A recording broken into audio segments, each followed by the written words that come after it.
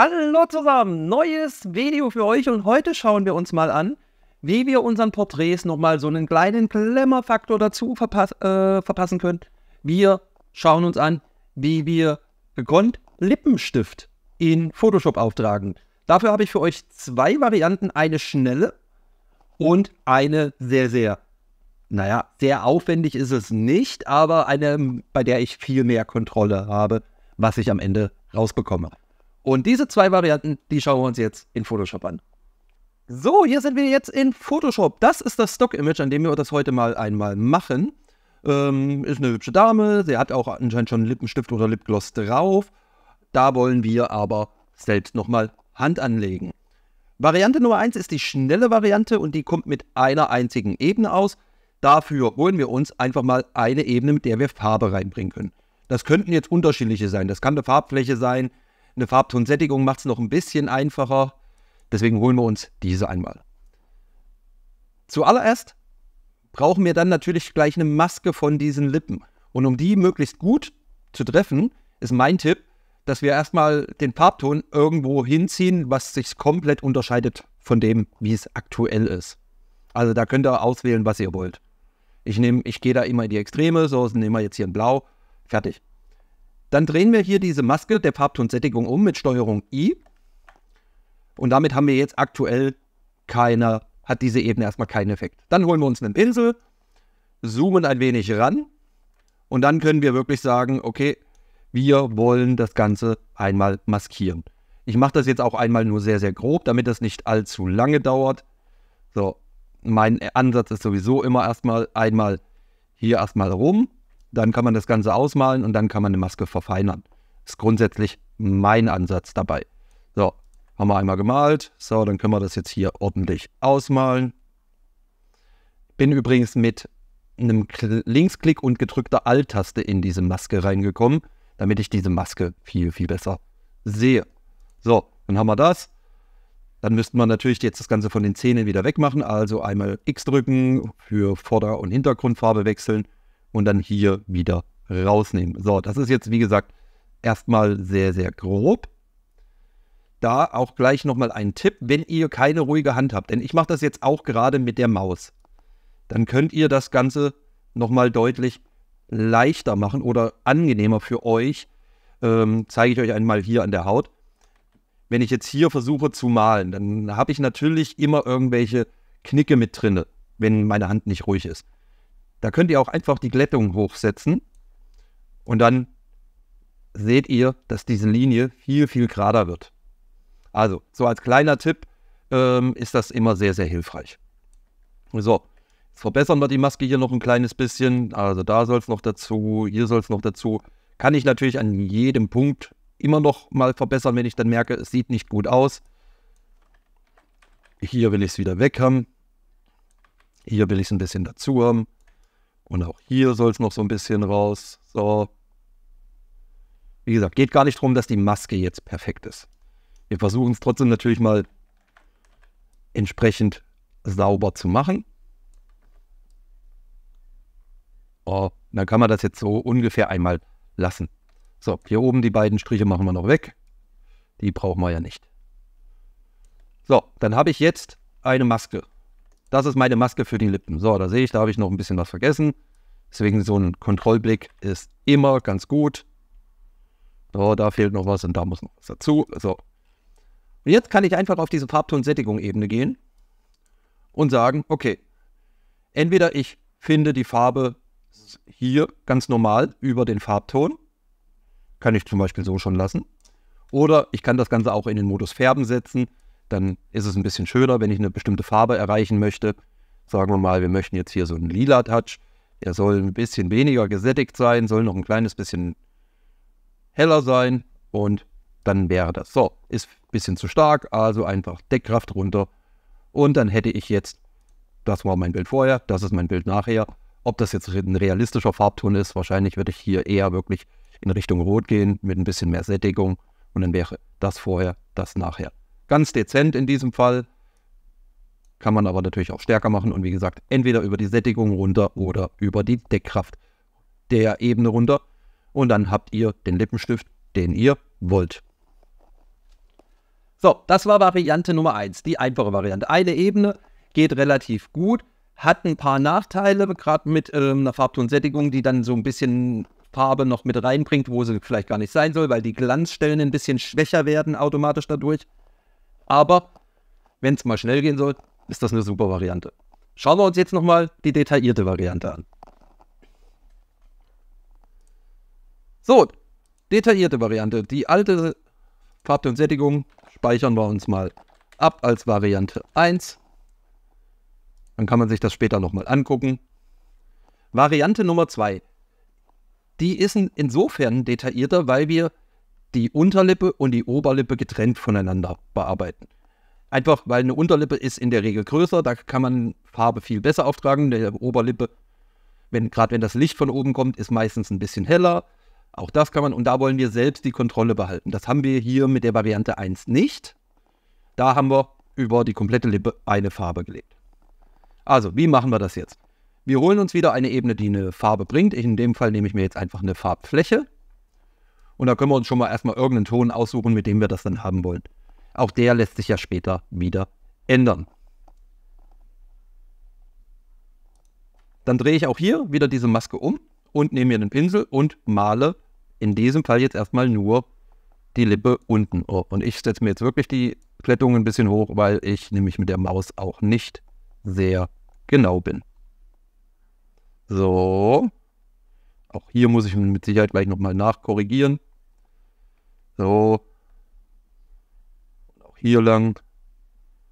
So. Wie gesagt, Korrekturen muss man eh wahrscheinlich gleich nochmal machen. Aber erstmal für die erste Linie ist das super. So, auch hier kann ich jetzt einmal ausmalen. Alles in weiß, wo die Farbe sein soll. So, haben wir auch da unten fehlt So. Jetzt ist das natürlich eine Farbe. Wir wollen natürlich die Struktur behalten. Also ich setze das Ganze jetzt erstmal in den Modus Multiplizieren. Damit, das sieht man jetzt gerade hier, da kommt die Struktur wieder durch. An manchen Stellen kommt sie noch nicht durch, aber da wollen wir jetzt hin. Denn was wir jetzt machen ist, wir machen einen Doppelklick auf den leeren Bereich hier von dieser Farbfläche, können alternativ auch Rechtsklick und dann Fülloptionen. Und jetzt kommt wieder eine meiner Lieblingstechniken, nämlich das Blend-If.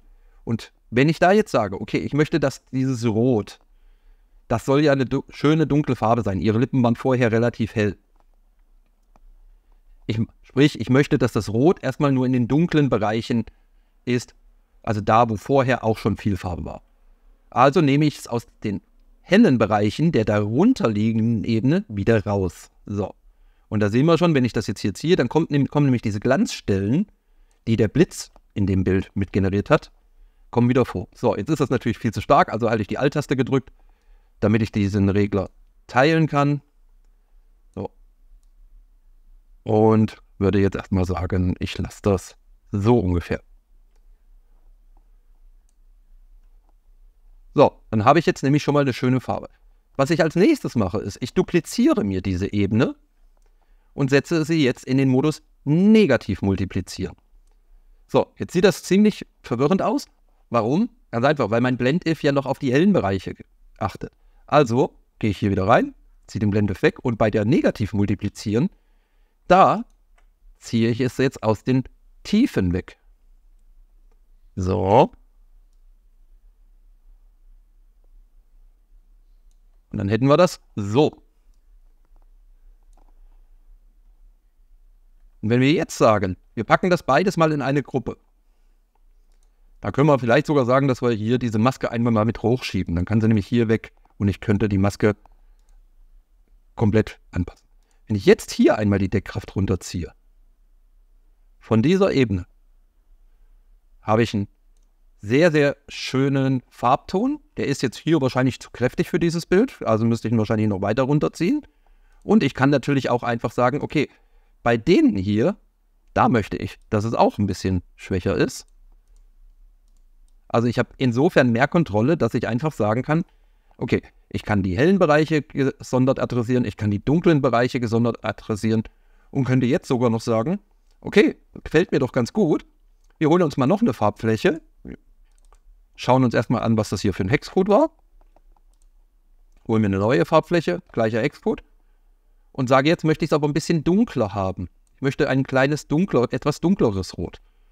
Und dann könnte ich damit nämlich auch nochmal spielen, indem ich dann entweder das Ganze wieder in Multiplizieren oder in Negativ Multiplizieren setze, je nachdem, was ihr erreichen wollt. Also ihr könnt unendlich viele dieser Ebenen anlegen. Was ich in dem Fall jetzt machen will, ist, ich will das Ganze multiplizieren, drehe die Maske um. Und was ich jetzt hier einfach noch mache, ist, dass ich einfach eine schöne Linie nach außen ziehe. Also praktisch hier diesen inneren Bereich. Auch da setze ich mir die Glättung mal wieder ein bisschen hoch. Und kann dann hier einmal den inneren Bereich, dass ich hier praktisch so eine Kante noch setze. So. Bisschen weichere Kante hier setzen. Dadurch habe ich automatisch nochmal eine schöne Schattierung mir hinzugebracht, die ja auch realistisch wäre, wenn, wenn man das Licht sieht. Oder wenn man den Mund auf hat, kommt auf die Lippen außen mehr Licht als auf die Lippen innen. Deswegen haben wir ja auch nur außen diese Glanzstellen. So, und das wäre praktisch die untere Lippe. Ja, vertippt, ist aber nicht schlimm.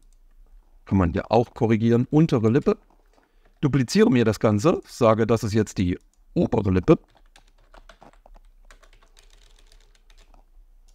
Werde natürlich hier die Maske dann entsprechend wegmachen. Aber Glättung kann auch wieder weg.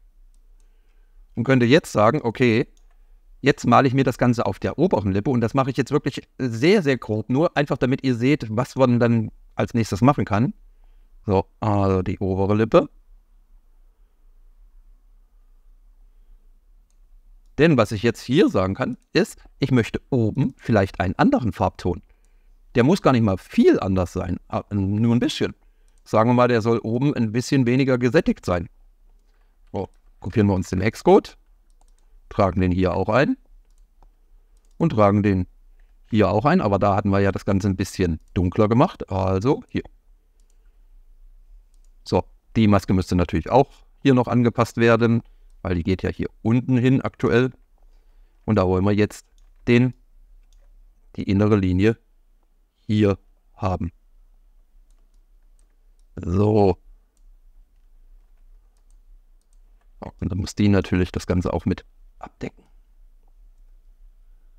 So, und wenn wir da jetzt mal die Deckkraft, die passt. So, und wenn wir gucken, das macht auch hier wieder innen so einen Schatten. Ich habe oben eine leicht andere Farbe. Wie gesagt, die Maske oben ist jetzt nicht sauber, aber damit habe ich natürlich deutlich mehr Kontrolle. Gerade wenn ich jetzt noch das Blend-If oben anpasse, weil ich vielleicht noch ein bisschen was verändern möchte oder die Deckkraft oben äh, anpassen, weil oben es anders sein soll als unten. Das meine ich mit deutlich mehr Kontrolle, wenn ihr einfach diese Lippen getrennt bearbeitet. So, ihr seht mehrere Möglichkeiten, wie man Lippenstift auftragen kann unterschiedlich aufwendige Methoden, die natürlich aber auch zu komplett unterschiedlichen Ergebnissen führen können. Einfach weil man mit der zweiten Variante, die natürlich länger dauert, deutlich mehr Kontrolle hat. Müsst ihr entscheiden, welche Variante ihr verwenden wollt. Hängt ein bisschen auch vom Zielpublikum ab. Für Instagram würde ich wahrscheinlich auch einfach nur die erste Variante nehmen, weil so genau da keiner hinguckt. Wenn ich aber weiß, ich habe einen Beauty-Shoot, wo das Model ähm, oder der Kunde sich das Bild ausdrucken möchte, um es an die Wand zu hängen, würde ich natürlich die zweite Variante bevorzugen, weil ich deutlich genauer arbeiten kann, deutlich bessere Abstimmungen machen kann. Also, lasst mich mal wissen, wie fandet ihr die Technik? Habt ihr in Photoshop schon mal nachgeschminkt oder sagt ihr, nö, ich mache gar keinen Photoshop, dann guckt ihr wahrscheinlich den Kanal nicht. Ähm, oder ihr sagt, ich mache einfach nur eine Hautretusche, dass die Haut weicher ist, das reicht mir. Lasst mich mal unten wissen, was ihr alles in Photoshop schon gemacht habt oder was ihr regelmäßig macht. Auf jeden Fall lasst doch aber bitte einen Daumen nach oben da, abonniert noch den Kanal und wir hören uns, sehen uns im nächsten Video. Ciao.